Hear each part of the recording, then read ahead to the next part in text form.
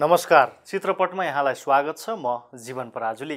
नेपाल टेलिभिजनको लागि कि एडभर्टाइजिङको प्रस्तुति कार्यक्रम चित्रपट नेपाल टेलिभिजनबाट प्रसारण हुने एकमात्र नेपाली चलचित्र सम्बन्धित कार्यक्रम हो। यस कार्यक्रम मार्फत हामीले नेपाली चलचित्र क्षेत्र वरपर रहेर विभिन्न गतिविधिहरूका साथमा मनोरञ्जन पनि यहाँलाई प्रदान गर्दै आइरहेका छौँ। आज पनि यस्तै विविध सामग्रीहरू लिएर हामी यहाँमा आज उपस्थित भइसकेका छौँ। दर्शकबिन कार्यक्रमको सुरुवातमा यो हप्ताभरि नेपाली चलचित्र क्षेत्र वरपर भएका विभिन्न गतिविधिहरू समाचारको रूपमा। News stories. अशोक शर्माको निर्देशनमा बन्ने चलचित्र रातो टिका निधारमाको औपचारिक घोषणा गरिएको छ। काठमाडौँमा आइतबार एक कार्यक्रमको आयोजना गर्दै चलचित्रको कलाकार र प्राविधिक चिनाइएको हो। चलचित्रमा साम्राज्ञी आर्यल शाह निता ढुङ्गाना नवनायक अङ्कित शर्मा खुसबु खड्का वसुन्धरा भूषाल अरुणा कार्की बुद्धि तामाङ राजाराम पौडेल रविन्द्र झा शिवहरि पौडेल जयानन्द लामा अर्जुन श्रेष्ठ लगायत कलाकारहरूको अभिनय रहनेछ। चलचित्रको छायाङ्कन झापा लगायत पूर्वी नेपालका विभिन्न स्थानहरूमा हुनेछ। पुरुषोत्तम प्रधानले खिच्ने चलचित्रमा मित्र डी गुरुङको सम्पादन रहनेछ। चलचित्र रातो टिका निधारमा यसै वर्षको दसैँमा प्रदर्शनमा ल्याइने बताइएको छ। चलचित्र पोइ पर्यो कालेको शुभ मुहुर्त गरिएको छ। काठमाडौँमा सोमबार एक कार्यक्रमको आयोजना गर्दै चलचित्रको कलाकार र प्राविधिक चिनाइएको हो। सिसी राणाले निर्देशन गर्ने चलचित्रमा सौगात मल्ल पूजा शर्मा सृष्टि श्रेष्ठ आकाश श्रेष्ठ सुरक्षा पन्त सोहित मानन्द राजाराम पौडेल बिन्दा खतिवडा जयानन्द लामा गोपाल ढकाल लगायत कलाकारहरूको अभिनय रहनेछ।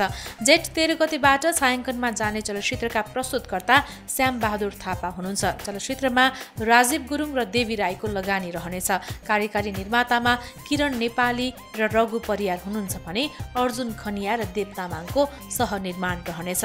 शिव ढकालको छायाङ्कन र तारा थापा किन्मेको सम्पादन रहने चलचित्र यसै वर्षको तिहारमा प्रदर्शनमा आउनेछ। जेठ सत्र गतेबाट देशभर प्रदर्शनमा आउन लागेको चलचित्र कप्सको दुई पोस्टर सार्वजनिक भएको छ। सार्वजनिक पोस्टरमा अभिनेता अनुविक्रम शाहीसँगै नव अभिनेत्री सन्दीपा लिम्बू अनुपा भट्टराई अमित गिरी पनि फिचर हुनुहुन्छ। एक कर्तव्यनिष्ठ प्रहरीको कथामा चलचित्र आधारित छ। चलचित्रलाई सम्राट सापकोटाले निर्देशन गर्नुभएको हो। खलपात्रमा अत्याधिक रुचाइनु भएका अनुपले यस चलचित्रमा एक सच्चा प्रहरी अफिसरको भूमिका निभाउनु भएको छ। थ्री पी अर्थात् पोलिटिक्स पुलिस र पब्लिकमा केन्द्रित रहेर चलचित्र निर्माण भएको हो। एक्सन र लभ स्टोरी जनरामा बनेको चलचित्रमा रामराजा छेत्री पुरन जोशी नन्दु श्रीवास्तव सुन्दर श्रेष्ठ बबलु विक्रम थापा अनुपमा भण्डारी लगायत कलाकारहरूको पनि अभिनय रहेको छ। अष्टमहर्जनको द्वन्द्व कविराज गहतराज र श्रीशिर खातीको कोरियोग्राफी सुशान्त प्रजापतिको छायाङ्कन र विपिन मल्लको सम्पादन चलचित्रमा समावेश छ। चलचित्र पत्रकार सङ्घ नेपालले मङ्गलबार राजधानीमा आफ्नो बिसौँ स्थापना दिवस मनाएको छ। दुई हजार छप्पन्न साल जेठ सात गते गठित सङ्घले एक विशेष समारोह बीच बिसौँ स्थापना दिवस तथा सत्रौँ पत्रकारिता दिवस मनाएको हो। माननीय सूचना तथा सञ्चार प्रविधि मन्त्री गोकुल बास्कोटाको प्रमुख आतिथ्यतामा सम्पन्न कार्यक्रममा चलचित्र पत्रकारिता सम्मान तथा पुरस्कार दुई हजार पचहत्तर प्रदान गरिएको थियो। चलचित्र पत्रकार सङ्घ नेपालका अध्यक्ष सन्दीप सापकोटाको सभापतित्वमा सम्पन्न कार्यक्रममा चलचित्र पत्रकार सङ्घ नेपालका सदस्य तथा इमेज एफएममा कार्यरत नरेश भट्टराई र सङ्घका सदस्य तथा विजन संसार डट कमका सम्पादक श्याम स्मृतलाई राष्ट्रिय चलचित्र पत्रकारिता सम्मान प्रदान गरिएको थियो। सङ्घका सदस्य तथा रातोपाती डट कममा कार्यरत कुबेर गिरी र सङ्घकी सदस्य तथा एबिसी टेलिभिजनमा कार्यरत शारदा थापालाई चलचित्र पत्रकारिता पुरस्कार प्रदान गरिएको थियो भने सङ्घका सदस्य तथा मेरो फिल्म डट कममा कार्यरत फोटो पत्रकार विनोद पोखरेललाई चलचित्र पत्रकारिता प्रोत्साहन पुरस्कार प्रदान गरिएको थियो। कार्यक्रममा चलचित्र विकास बोर्ड अध्यक्ष केशव भट्टराई नेपाल पत्रकार महासङ्घका उपाध्यक्ष दिलीप कुमार थापा मगर चलचित्र पत्रकार सङ्घ नेपालका पूर्व अध्यक्ष विदुर गिरी अभिनेता भुवन केसी अभिनेत्री करिश्मा मानन्दर कलाकार दीपक राजगिरी निर्माता माधव वाग्ले निर्देशक समाजकी अध्यक्ष सुचित्रा श्रेष्ठ लगायतले शुभकामना मन्तव्य दिनुभएको थियो। सो कार्यक्रममा नेपाली चलचित्र पत्रकारिताका भीष्म पितामह मानिने स्वर्गीय पुष्करलाल श्रेष्ठप्रति श्रद्धा सुमन स्वरूप उहाँबारे तयार गरिएको श्रव्य दृश्य सामग्री पनि प्रस्तुत गरिएको थियो। कार्यक्रममा चलचित्र कर्मी र सञ्चारकर्मीको बाक्लो उपस्थिति रहेको थियो।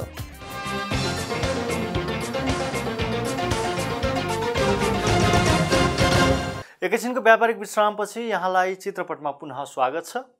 दर्शकबिन नेपाल टेलिभिजनबाट प्रसारण हुने एक मात्र नेपाली चलचित्र सम्बन्धित कार्यक्रम हो चित्रपट। यो कार्यक्रम मार्फत हामीले नेपाली चलचित्र क्षेत्र वरपर रहेर विभिन्न गतिविधिहरूका साथमा मनोरञ्जन पनि यहाँलाई प्रदान गर्दै आइरहेका छौँ।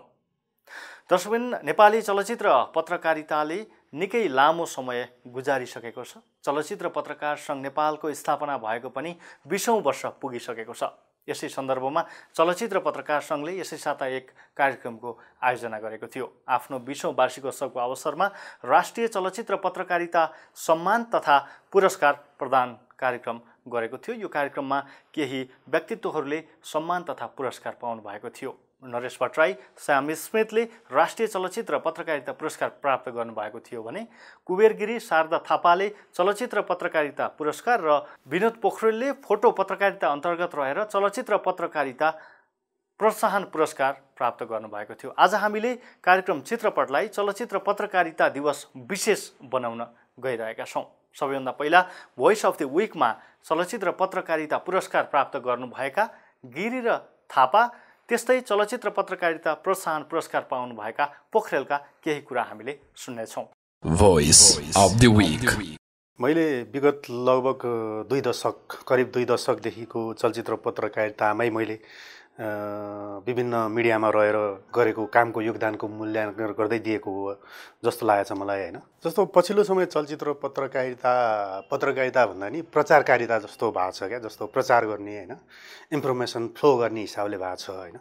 मान्छेले समाचार हेऱ्यो भने भन्छ ठ्याक्कै कसैको अब फिल्मकै बारेमा लेख्यो उदाहरणको रूपमा फिल्मकै बारेमा लेख्यो भने हामीले फिल्मको त्यहाँको विषयवस्तु के हो फिल्मले जागरण दिन्छ कि अथवा जनतालाई सचेत गराउँछ कि के भन्दा पनि फिल्म कहिले लाग्छ र कसरी आउँदैछ भन्ने मात्र हामीले न्युजमा देख्न पाउँछौँ क्या धेरै जस्ता न्युजमा होइन?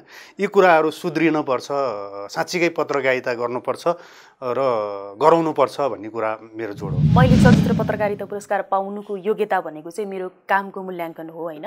मैले डे वानदेखि जति बेला मिडियामा इन्ट्री भएँ त्यति बेलादेखि नै चलचित्रको बारेमा बोल्न लेख्न र रिपोर्टिङ गर्नको लागि आजको दिनसम्म छोडेको छैन र यो अब दस वर्षै क्रस भइसक्यो त्यो हिसाबमा चाहिँ सायद मूल्याङ्कन गरिएर दिएको होला। जस्तो अहिलेको पत्रकारितामा चाहिँ अ, विकृति र सम्भावना दुइटै कुरा आइरहेको छ भनेर मूल्याङ्कन बजारमा जसरी भइरहेको छ त्यो दुइटै चिज हो। सम्भावना अत्याधिक मात्रामा रहेको छ र विकृतिको कुरा गर्ने हो भने चाहिँ यो ननसेन्स जर्नलिजम जुन भइरहेछ होइन जर्नलिस्टहरूको ज्ञानको अभावको कारणले भइरहेको हो। र अर्को कुरा भनेको चाहिँ टेक्नोलोजी भित्रिए सँगसँगै अहिले हरेक विधामा चाहिँ हामी विकृति देख्छौँ र त्यस्तै खालको विकृति चलचित्र पत्रकारितामा पनि छ। मेरो फोटो पत्रकारिताको काम र मेरो फोटो पत्रकारिताप्रतिको लगाव मेरो चलचित्र पत्रकारितामा मैले गरेको मेहनत र मेरो फोटोहरूले देखाइएका रिजल्टहरूले नै रिजल्टहरूकै कारणले गर्दा यो सम्मान मलाई दिनुभएको जस्तो लाग्छ।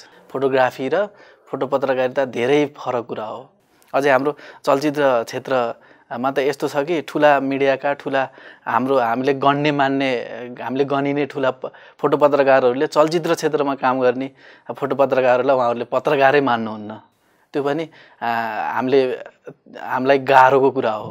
दर्शक तपाईँले भोइस अफ द विकमा तिनजना पुरस्कृत व्यक्तित्वको कुराकानी त सुनिसक्नु भएको छ अब पालो रहेको छ ब्याक स्टोरीको। आजको ब्याक स्टोरीमा हामीले सम्मानित व्यक्तित्व नरेश भट्टराईलाई निम्ताएका छौँ। समग्रमा चलचित्र पत्रकारिता सम्मान प्राप्त गर्दाको क्षण कसरी यो प्राप्त गर्नको लागि उहाँ योग्य हुनुभयो र चलचित्र पत्रकारितामा के कस्ता अवस्थाहरू रहेका छन् विकृति विसङ्गति र राम्रा नराम्रा पक्षमा आज विमर्श हामीले गर्नेछौँ। आजको ब्याक स्टोरीमा नरेश भट्टराईसँग। Backstory. नरसी चित्रपटमा स्वागत छ यहाँलाई। धेरै धेरै धन्यवाद जीवनजी। सर्वप्रथम त यहाँलाई हार्दिक बधाई छ। राष्ट्रिय चलचित्र पत्रकारिता सम्मान दुई हजार पचहत्तरको लागि यहाँले प्राप्त गर्नुभएको छ। चलचित्र पत्रकार सङ्घको बिसौँ वार्षिकोत्सवको अवसरमा माननीय सञ्चार तथा सूचना प्रविधि मन्त्री गोकुल बास्कोटाको हातबाट यहाँले प्राप्त गर्नुभएको छ। कस्तो लागिरहेछ? सबैभन्दा पहिला त चलचित्र पत्रकार सङ्घ नेपाललाई धेरै धेरै धन्यवाद। सम्पूर्ण पदाधिकारीहरूलाई धेरै धेरै धन्यवाद। जसले मेरो कामलाई अथवा भनौँ चलचित्र पत्रकारिता यात्रालाई मूल्याङ्कन गरेर योग्य ठानेर जुन चलचित्र पत्रकारिता सम्मान दुई हजार पचहत्तर प्रदान गर्नुभएको छ। म धन्यवाद दिन चाहन्छु आभार अभिव्यक्त गर्न चाहन्छु। अब सम्मान प्राप्त गरिसकेपछि खुसी नहुने को होला र असाध्यै खुसी छु र शुभकामना शुभेच्छा बधाईका कुराहरू प्राप्त गरेको गरेछु। यहाँको पत्रकारिता यात्रा भनौँ अथवा रेडियो यात्रा भनौँ तपाईँलाई त हामीले माइक जीवी भनेर चिन्छौँ होइन? तपाईँको यो यात्रा बाइसौँ तेइसौँ वर्षमा चल्दैछ तर चलचित्र पत्रकार सङ्घ चाहिँ बिसौँ वर्षमा लाग्यो प्रवेश गर्यो। होइन दुई दशक बिताएको छ चलचित्र पत्रकार सङ्घले पनि। चलचित्र पत्रकार सङ्घ भन्दा पनि जेठो चाहिँ तपाईँको पत्रकारिता यात्रा छ। होइन यो बिचमा आएर तपाईँले दुई हजार साठीमा पनि पत्रकारिता पुरस्कार चलचित्र पत्रकार सङ्घबाट नै पाउनु भएको थियो। 65 मा। पैँसठीमा पाउनु भएको थियो होइन। अहिले आएर सम्मानित हुँदाखेरि चाहिँ के कस्ता योगदान आफूले गरेको रहेछु भन्ने महसुस भयो यहाँलाई? चलचित्र पत्रकारिता चाहिँ मेरो रगतमै रह्यो। मनोरञ्जन बिटमा बोल्नु कार्यक्रम चलाउनु त्यो मेरो रगत नै भन्छौँ नि हामी जिनमै भएको भन्ने कुरा। किनकि मैले सुरुवातमा जे सिकेँ जे बुझेँ यही क्षेत्रबाट बुझेँ यसैबाट बुझेँ। यसको निरन्तरता हो। एफएममा बोल्न आ, का लागि जो कोही पनि पहिला इच्छुक हुने। हगि त्यो भनेको एफएमको सुरुवातको बेला एफएमको क्रेज निकै नै थियो कलेजतिर। अनि म मिन भवन कलेज अ, मा, नेपाल कमर्स क्याम्पसमा पढेको मान्छे। अनि मेरा केही साथीहरू एफएममा बोल्ने अनि उनीहरूको वरिपरि एउटा ग्रुप नै हुने। त्यो देख्दा मलाई पनि लोभ लाग्थ्यो क्या। यो ग्रुपले मलाई पनि भेटोस् अथवा मेरो पनि कुरा गरोस् अथवा यो ग्रुपले इन्ट्रेस्ट राखोस् भन्ने कुरा हुन्थ्यो। अनि त्यही लै लैमा लागेर सन्तोष भट्टराई जो मेरो उमेरले जेठो दाई पनि हो सँगै पढ्ने। सम्बन्ध छ हाम्रो यो हिसाबमा पारिवारिक रूपमा। अनि सन्तोष दालाई मैले भनिसके पछाडि ऊ क्लासिक एफएममा बोल्ने।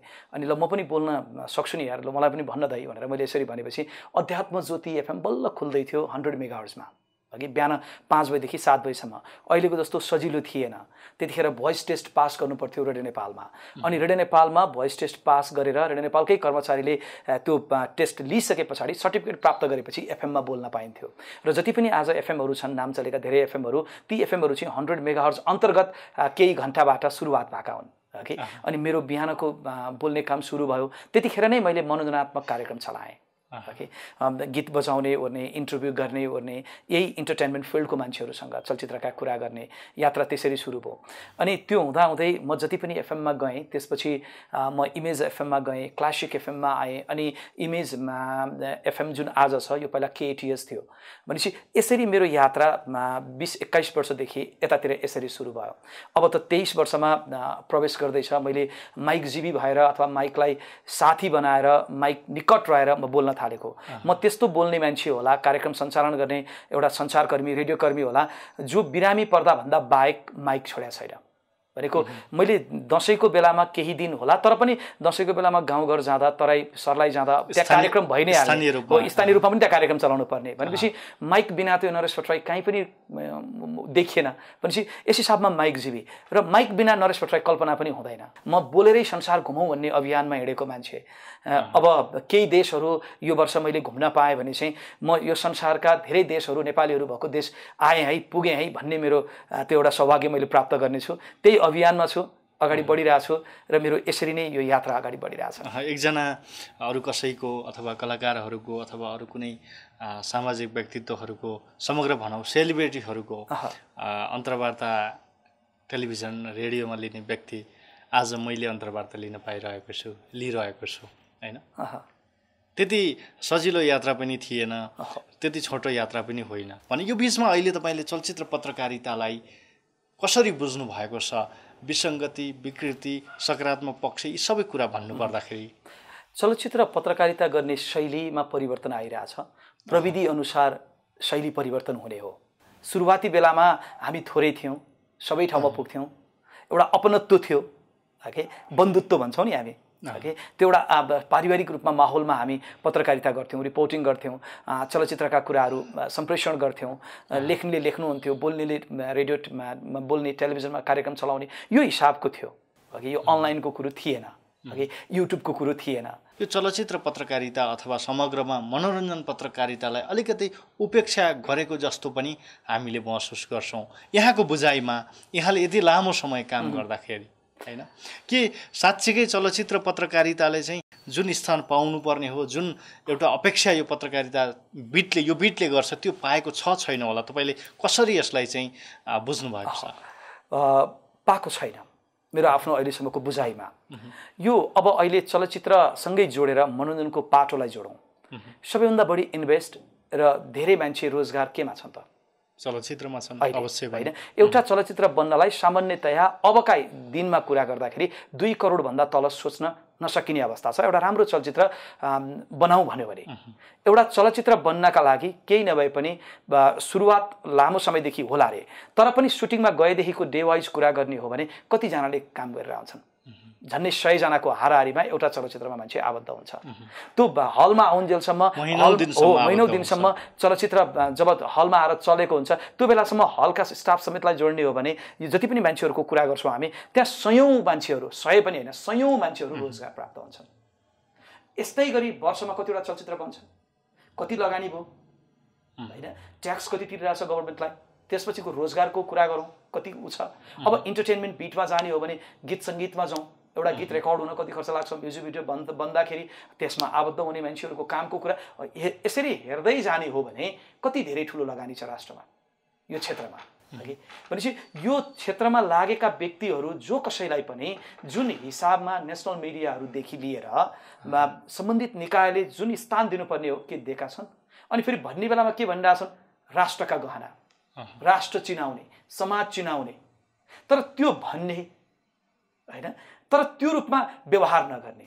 यो देखिएको छ। यदि हाम्रो नेसनल डेलिजहरूमा इन्टरटेनमेन्टका न्युजहरूलाई फ्रन्ट पेजमा राख्ने हो भने यदि नेसनल टेलिभिजनहरूमा हेडलाइनमा नै इन्टरटेनमेन्ट न्युजलाई पनि जोड्ने हो भने अथवा भनौँ अब के केमा जोड्न सक्छौँ हामी? मिडियाहरू आज कुरा गर्दाखेरि। आर्थिक रूपमा पनि हामीले हेर्न त्यो सक्छौँ। रूपमा हरेक पाटोबाट यसलाई न्युज बनाउँदै जाने हो भने संसारका धेरै देशहरूमा यस्तो छ यस्तो हुन्छ।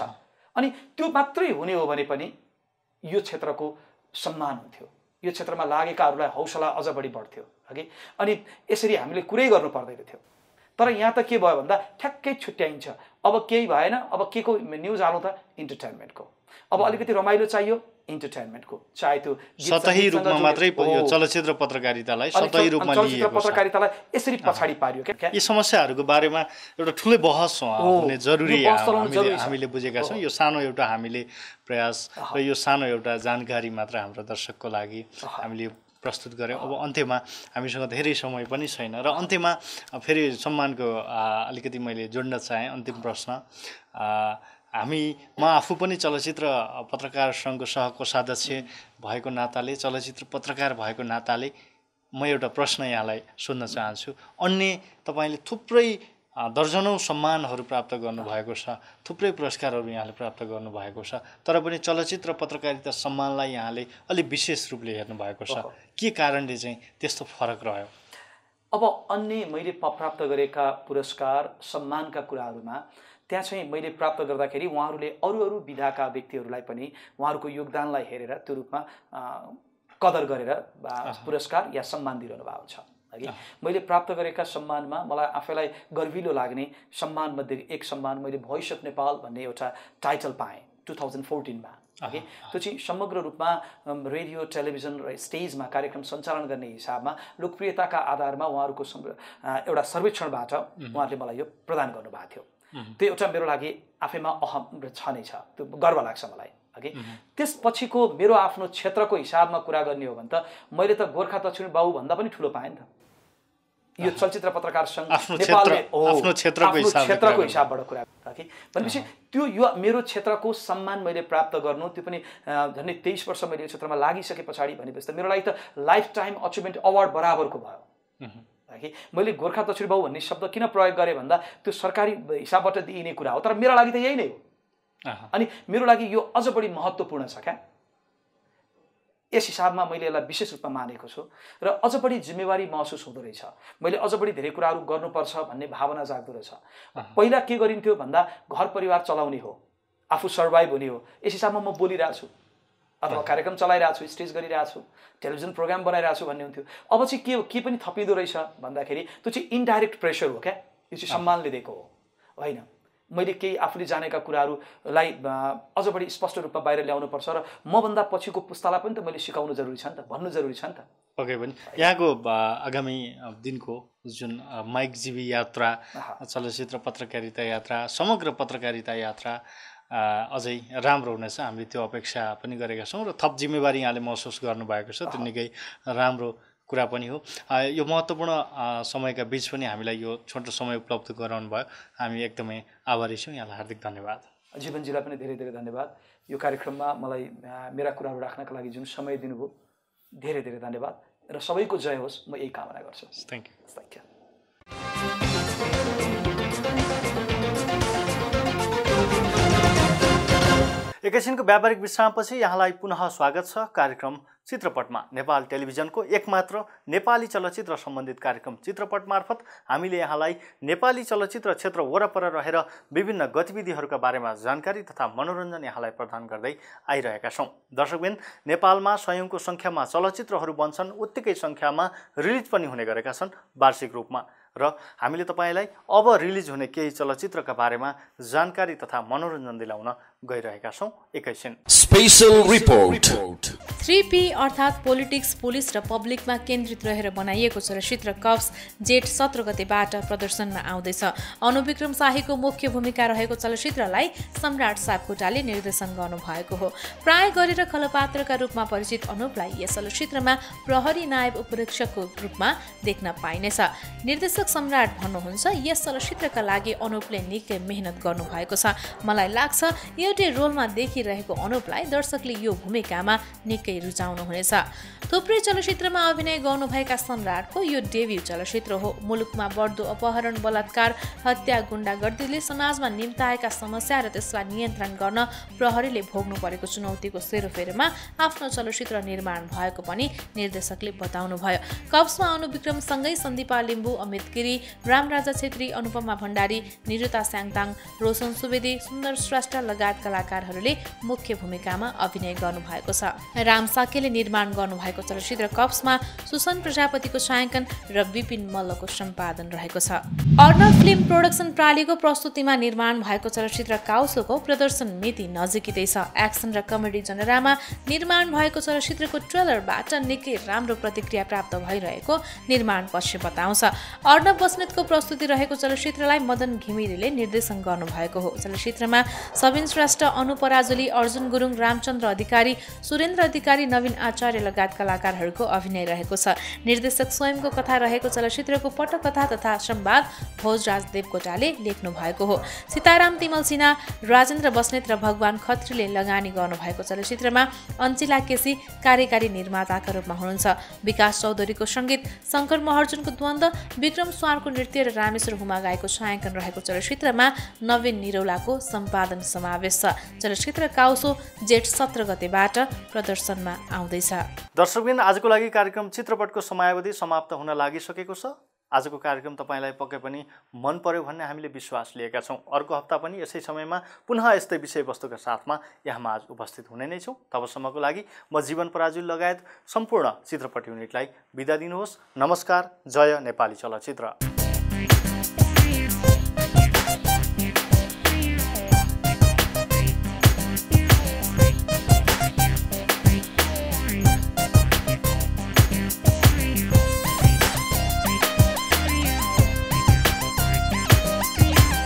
Marketed by Key Advertising. A complete bundle of art, information, and entertainment. NKTV.